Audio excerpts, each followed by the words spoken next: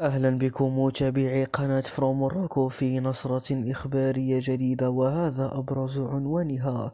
الأمطار تتسبب في فيضانات بكل من سيدي إفني وغلميم.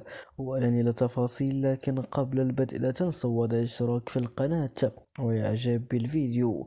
تسببت الأمطار الغزيرة التي شهدتها مجموعة من الأقاليم جنوب المملكة منذ الساعة الأولى ليومه الاثنين في فيضانات وارتفاع منسوب مياه عدد من الوديان وحسب مصادر محلية فقد عرفت جماعة تاغجيجت بإقليم كلميم ومعها جماعة صبويا بإقليم سيديفني.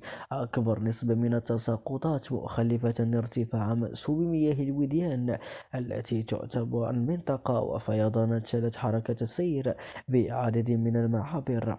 هذا وارتفعت منسوب مياه وداسكا تركا وساي بإقليم جولميم لدرجة تجاوزت علو بعض القناطر.